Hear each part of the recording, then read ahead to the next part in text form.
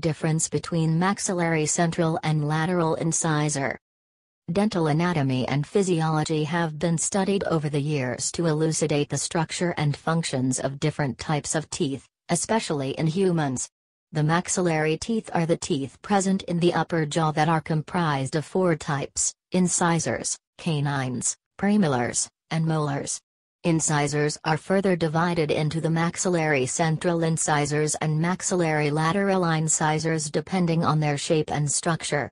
They are characterized based on several aspects, labial aspect, mesial aspect, distal aspect and incisal aspect.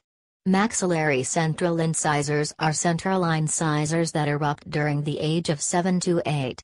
Maxillary lateral incisors are situated laterally in the upper jaw and they emerge at the age of 8 to 9. The key difference apart from the various structural differences shown by maxillary central and lateral incisors is their time of erupting.